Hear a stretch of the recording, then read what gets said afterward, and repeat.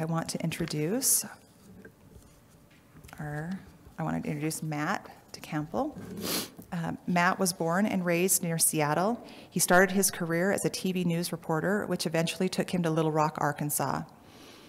Expecting to stay there two years, he's now been an, an Arkansan for 19 years, spending most of that as the spokesman for former Governor and Attorney General Mike Beebe. Since his stage 4 diagnosis in May of 2016, he's been receiving care at UAMS, Rockefeller Cancer Institute, which is conveniently located seven blocks from his house. So we want to welcome Matt.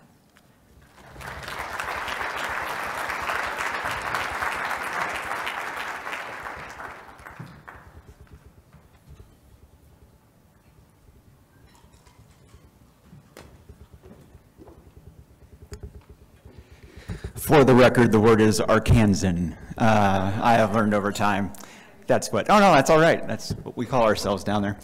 So, uh, my name is Matt DeCample. The last name is very unique. Uh, so, my friends call me Matty D. Uh, my enemies live inside of me, and that's why we're all here today. Uh, as you heard in the introduction, I was raised, uh, born and raised in Renton, Washington, just outside of Seattle. Went to college at Washington State University and decided I wanted to be in television. And so uh, after three years working in Tri-Cities, Washington, I got a job in Little Rock and went down there for about three years, uh, expecting to be there for two, went down there for about three, and then got uh, recruited over to work in the world of government. We had a newly elected attorney general who needed a spokesman, and so I went to work for him, and then he went on to become a very successful and very popular two-term governor, and his name was Mike Beebe. And so after all of that, uh, I decided to go into business on my own. And all my contacts were in Arkansas at that point, or at least my best professional contacts, so I stayed there. And that's what I was doing in the spring of 2016 when I started having uh, dizzy spells while I was working out at the gym. And so I would cut those, cut those short and uh, didn't think about it too much. Then I started gaining a lot of weight. And I said, well, that's what happens, I guess. Uh, you know, metabolism's given out.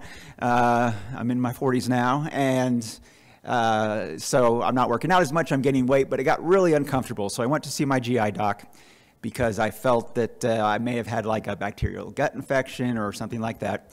Uh, blood test showed nothing. And so she said, just to be safe, I'm sure you, a lot of the patients in here have heard this before. Just to be safe, let's do an abdominal ultrasound. And that's when they found spots in a lot of places. Uh, liver, pancreas, abdomen, some other things. And so my doctor, Dr. Angela Newt, is the one who made the call and said, I hope you're sitting down. And uh, told me she was pretty sure that I had a pretty severe form of cancer. I went to University of Arkansas for Medical Sciences, uh, like uh, like Stacy said, seven blocks from home, so that was very convenient. And uh, had my my first screenings at Rockefeller Cancer Institute, and sure enough, uh, they told me almost immediately I had a highly aggressive stage four intrahepatic cholangiocarcinoma, and I had had it for about six months which means I had not only fooled a blood test the week before, I had fooled a blood test a few months before with my GP.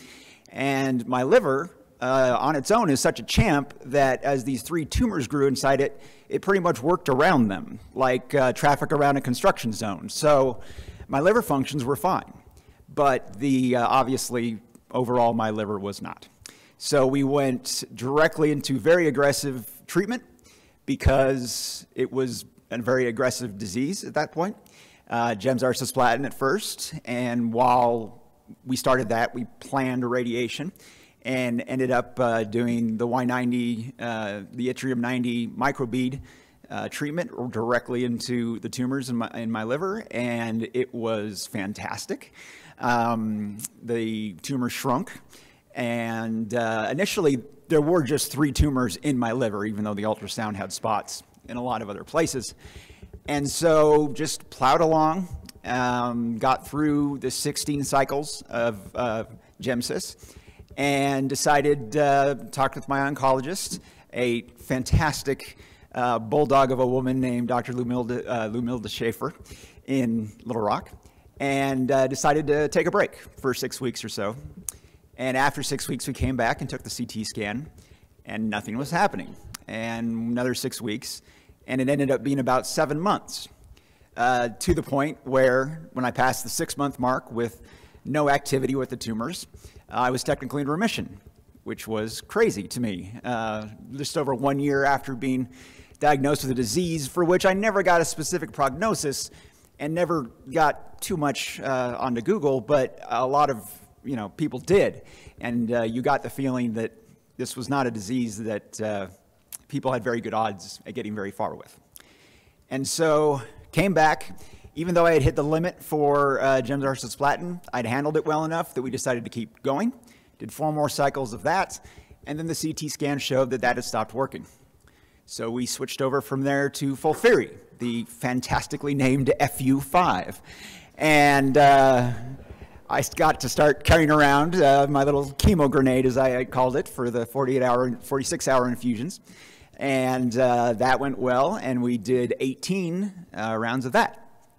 Uh, but during that time as well, there were new small lesions that had started to show up throughout my abdominal cavity, some of them attached to peritoneal areas, some of them to lymph nodes. And uh, again, the ascites fluid just kept building and growing from time to time, and so I'd have it drained. Not as often as I may have liked for vanity purposes, but uh, you try arguing with an oncologist. It uh, does not go very well for you, usually. And, uh, and then I got done with that this past summer. I was given a break again, about six to eight week break, and uh, that got to do a lot of fun stuff with that. Came back, started back on FOLFIRI, and then in November, I had a very acute nausea, and I actually didn't have a lot of nausea with the treatment. So uh, they admitted me for a few days to the hospital and took some scans, and the CT showed that the full FOLFIRI now had stopped working. At that point, we decided again, because we had looked for clinical trials before from time to time, and during my breaks especially, and hadn't found anything that had fit. Um, I'm IDH2, which is a, a, lesser, more rare of the, of the mutations.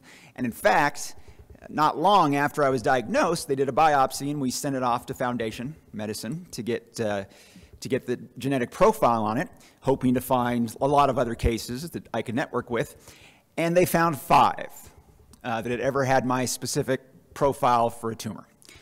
And uh, my oncologist contacted all five of those institutions where they'd been treated, and no one called her back, which of course led us to believe that the cases were no longer active.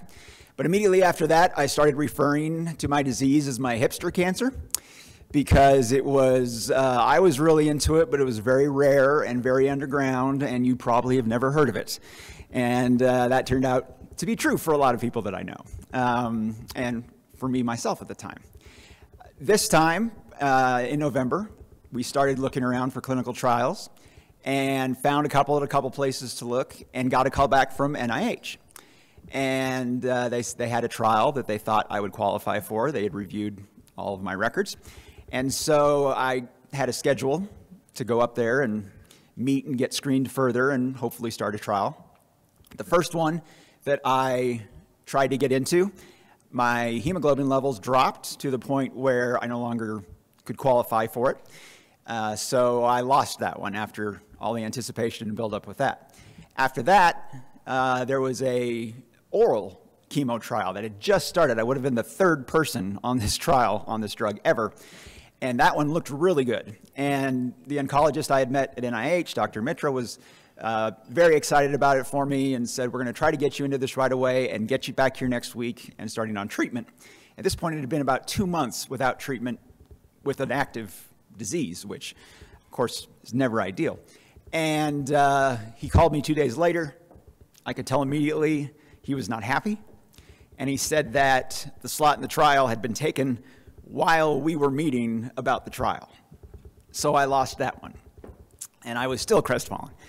And uh, yeah, it was, it was heartbreaking.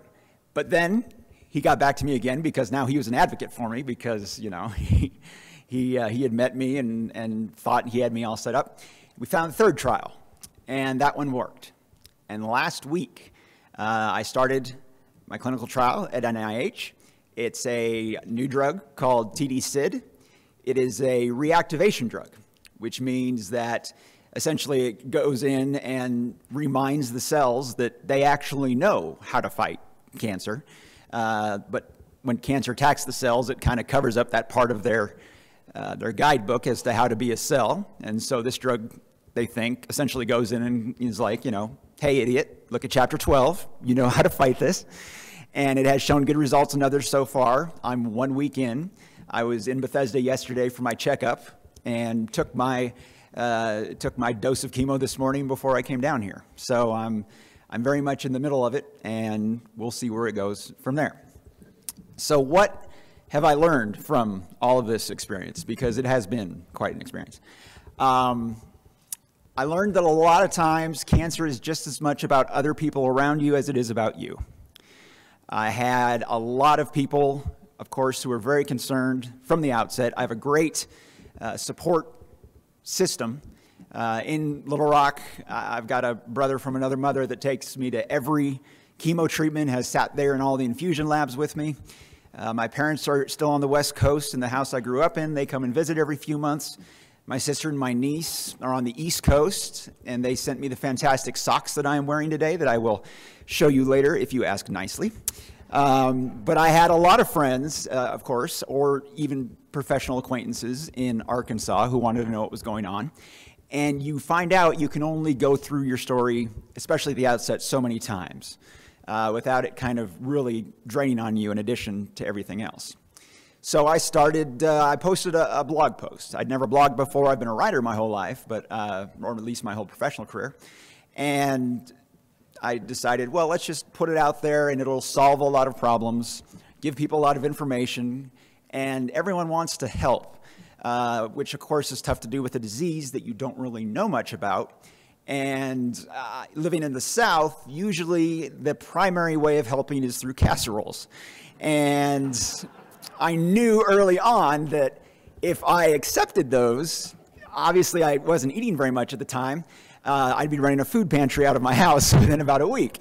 And so I made that part of uh, the announcement and, uh, and just kind of talked about, walked people through what it was, what I was going to start to do. And of course, everyone says, anything I can do, let me know. And I said, if I can figure anything out, I will let you know. And then I started updating the blog uh, pretty regularly. And it was therapeutic for me because uh, I am a writer, and it was good to kind of get stuff down and be able to, to look at it and to form it. And uh, then I started adding music to the blog.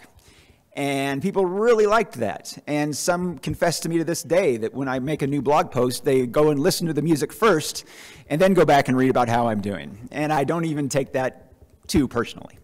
Uh, but it became a very well, uh, well-read blog, and it's the reason I'm here today, because Mary Ott uh, found it, and I had not heard about the foundation.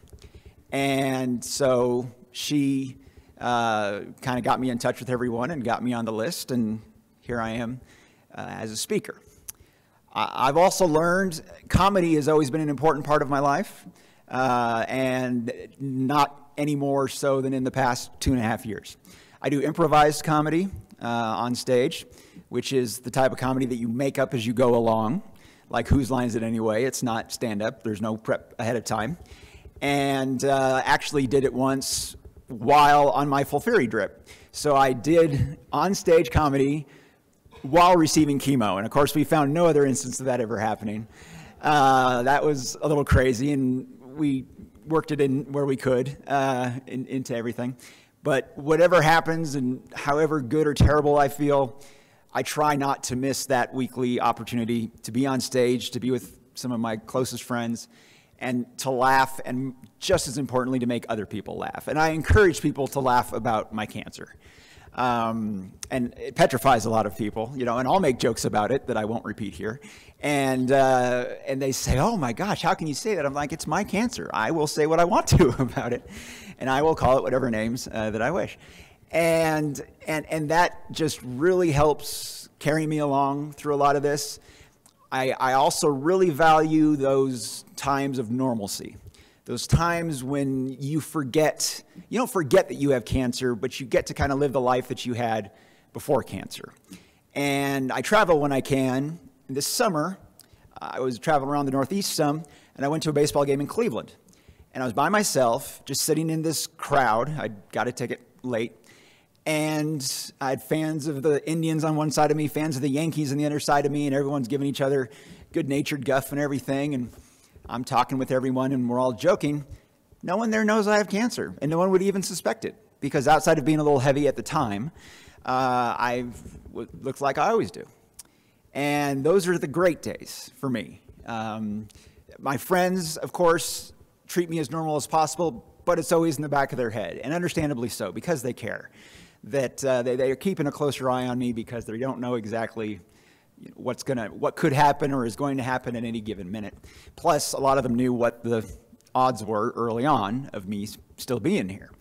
But I'm playing with house money now, so I just uh, I, uh, I keep trucking along. Uh, after ever since my nausea in uh, in November, I've lost a lot of weight because the uh, tumor fluid, clever as it is, has gone from accumulating in my abdomen to now being smaller but lining up along my organs and my GI tract.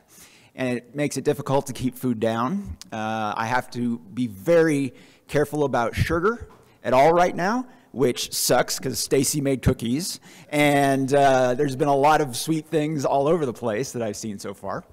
But it's uh, you know it's a new challenge. I've I've had an amazing team of doctors. Uh, Dr. Chen, who's running my who's running my clinical trial, my interventional radiologist, Dr. Meek. Uh, I've, I've, had a procto-oncologist that I didn't even know was a thing until I needed one and was very glad to.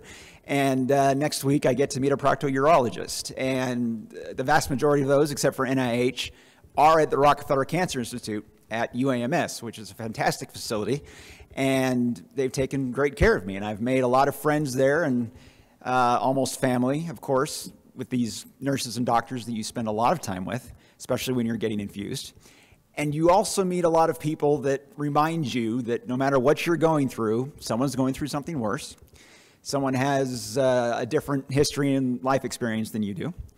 And it really does broaden your mind more, and you never stop learning in life. And even though it's been a darker side of life, learned a lot about being human and uh, about a lot of people.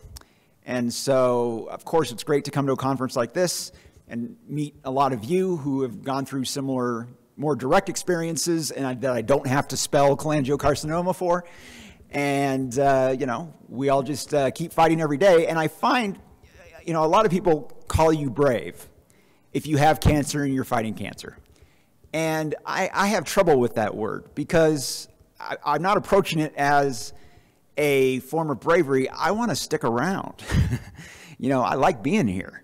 Um, it's very self-driven. It's it's uh, it's very self-centered. I mean, I, I want to stay around, and uh, whatever help I get is is is great. But that's what we're all fighting for: is another day, another month, another year, uh, another milestone, another trip. My impulse control has been damaged greatly by cholangiocarcinoma, especially when with online shopping. Um, And, uh, you know, we all just continue going through this together. So I, thank you all for being here and, uh, and, and listening to me. And I, I will take some questions if I have any time left. I don't know how long I've been rambling. I was going to run my stopwatch and then it didn't. But if anyone's got any questions, or you can just find me uh, later on and we'll chat. It's still early on in the session. Not a lot of people want to get up and ask questions. I understand. But uh, thank you for having me, and uh, look forward to seeing what else the next few days bring. Thank you.